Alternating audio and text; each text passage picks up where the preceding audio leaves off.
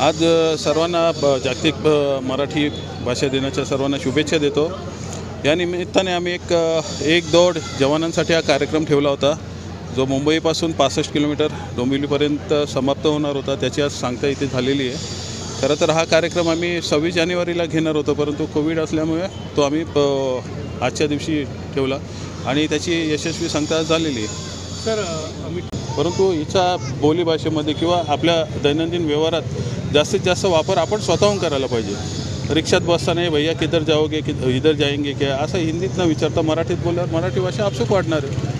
प्रयत्न आपण करायला पाहिजेत. राजकारणी राजकारण्यांच्या अनुषंगाने करत असतात. निवडणूक दररोज काही ना काही आरोप प्रत्यारोप होत आहे काय कामं यांनी केली आहे त्यामुळे की कामं नाही झाली नाही नाही. हे प्रत्येक निवडणुकीच्या आसपासची प असते. मागच्या वेळेस घशात हातबीत घालून दात काढत होते. आता अजून काय काढत बसतील ते? तुर्तास ते एकमेकाचे कपडे फाडतात.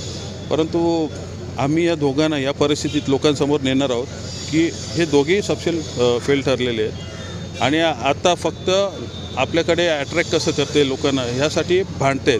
परंतु ब- सत्य हे इथलं की या दोन्ही शहरांसाठी या दोन्ही पक्षांनी काहीच केलं नाही आहे आता एकमेकावर आरोप करतात ते लोक सुज्ञ आहेत मला वाटतं यावेळेस तरी विचार करतील.